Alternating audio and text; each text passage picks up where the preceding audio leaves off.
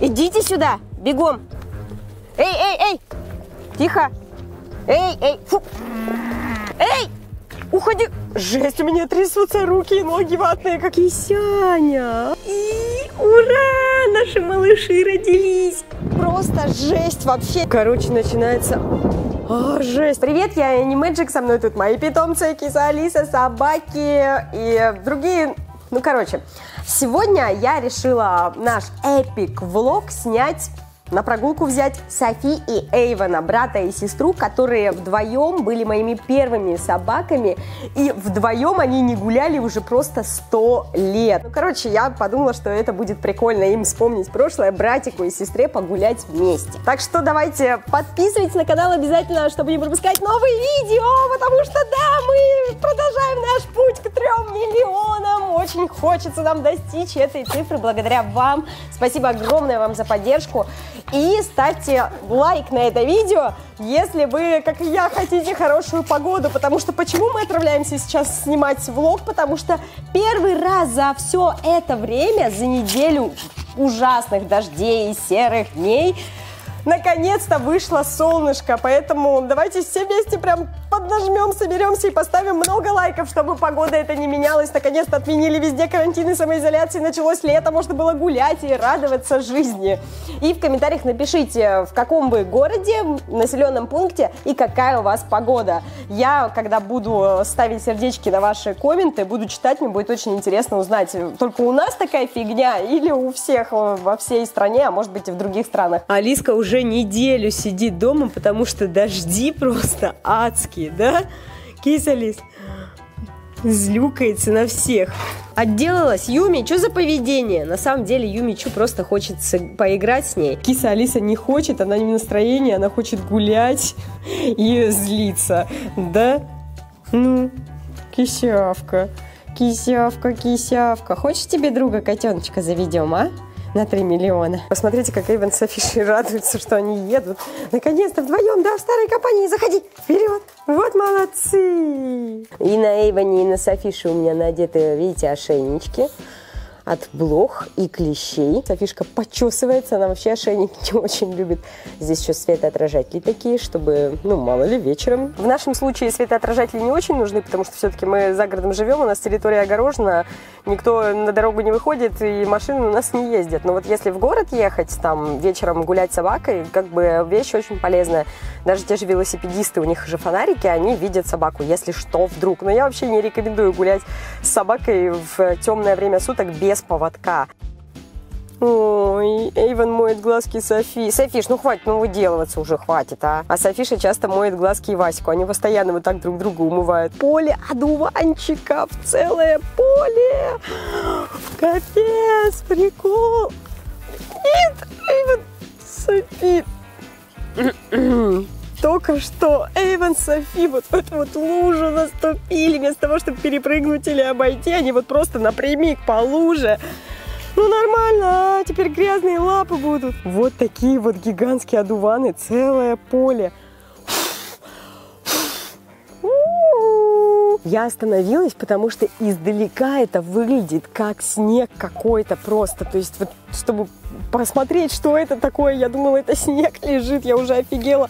С климатом что-то не так. Эйвен с Афишей, как всегда, выбирают траву какую-то и едят ее. Чем еще заняться в этом гигантском поле одуванчиков? Посмотрите на Софи, Софи, стой!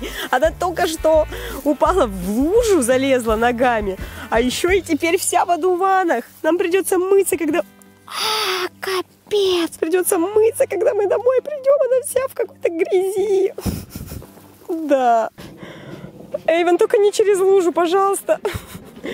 Блин, прям гром, кажется, начинается. Йо-йо-йо-йо, мама. Что за звук я издала? Вот и Васька с Софишкой, брат с сестрой, давно уже не были вместе, гуляют вдвоем. Мама. Ой-ой-ой. Я вам говорила, что у нас тут недалеко есть ферма, на которой есть э, бычки. Это определенная какая-то порода, это не просто коровы, вот типа, ну, разные, а это какие-то там бычки. Может, кто-то из вас знает, что это. В общем, мы сейчас ехали, и они переградили нам дорогу. Мы не можем проехать на машине, потому что они стоят на дороге. Просто вот тупо, вот, нам нужно ехать здесь, и они... Эйвен, Эйвен, Софи, не подходите к ним! Идите сюда, бегом! Эй, эй, эй! Тихо! Эй, эй, фу! Уходите! Так, так, так, так, они на нас прям идут. Бегом в машину. Эй! Уходи! Уходи! Софи, бегом! Быстро!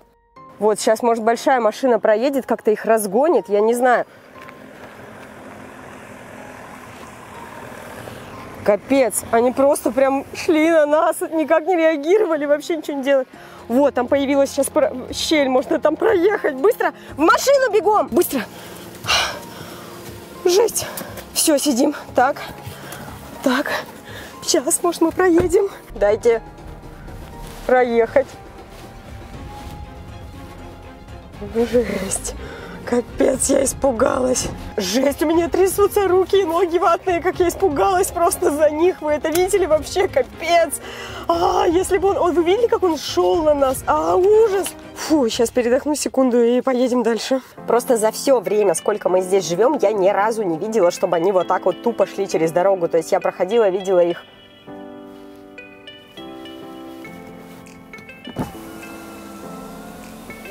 Здрасте. Стадо не ваше? Нет, не наше. Обычно загоны у них закрыты, а это стадо какой-то отельный. Сейчас какой-то мужчина остановился, просто говорит, это не ваше стадо, говорит, какого фига они просто так гуляют. И для меня это тоже не норма. За все время, сколько мы здесь живем, когда построили вот эту ферму, они как бы в полях обычно и закрыты за перегородками. Я не видела ни разу, чтобы вот так вот они просто шли по дороге или где-то ходили, бродили. Просто дело в том, что это не коровы, а быки, бычки. И я слышала много разных историй, не конкретно про этих, а вообще, что они они агрессивные, они могут нападать на людей, на машины, на животных, и между собой даже очень агрессивно себя ведут. Если там кто-то новый у них появляется, они его могут даже убить. То есть это вообще как бы очень опасная история. Сейчас приехали с ребятками в одно место, я сейчас схожу, кое-что проверю, а потом поедем дальше. Короче, по четвергам здесь обычно бывает вот этот вот рынок, на который привозят всякие овощи, фрукты из разных деревень, вообще поселков сюда съезжаются именно. И также здесь продают всякие сельскохозяйственных животных, типа уточек, курочек, э, индюшек, ну, маленьких вообще цыпляток, там, вообще малышей. И я подумала, я всегда мечтала завести цыпленка, вырастить его с самого маленького возраста до взрослого состояния, чтобы он стал друзьями с моими питомцами, то есть чтобы он жил как бы, ну, с семьей с нами. Тем более сейчас мы за городом живем, ему можно построить вольерчик, все такое. Вот, я не успела сегодня, потому что уже час дня, а они закрываются, ну, очень рано. То есть они с самого раннего утра и до 12, может, до 11. Я не успела, никого сейчас здесь нет. Но если вы все-таки хотите, чтобы я осуществила эту свою мечту, а заодно вам показала, как он будет жить вот с такого детского возраста, как питомцы будут на него реагировать, подружатся ли они с ним, особенно киса Алиса, ставьте лайк. И если мы соберем вот дофигища лайков, то я обязательно эту идею свою воплощу в жизнь. А я-то думаю, на кого Эйвен Софи в машине лают? Угу. Сразу такая спряталась. Не-не-не, я ничего, я, я что, ничего. Индюшечки. Вот и какие хорёськи. Привет! Тут недалеко есть строительный магазин, в котором это единственное место, где я видела типа такие деревянные домики для кошек, для собак, уличные именно. Я вам сейчас их покажу и потом объясню свою идею, в которой я жду вашей помощи. Типа, например, вот какой-нибудь такой домик для киски Алиски. То есть там есть вход внутрь, лесенка при этом такая миленькая, маленькая. И вот здесь такое, как крылечко наверху под крышей, если дождь. Вот такой есть побольше намного, там целый, целый дом прям внутри для собак. Э, к примеру, на лесенке может как раз подниматься сюда Софиша, она любит высокие поверхности, и вот здесь вот э, на таком подоконничке, ой, балкончике сидеть, но он без крыши. Есть вот просто какие-то там будки, ну такие, по, по, поприкольнее, попроще совсем. Я больше люблю простой стиль.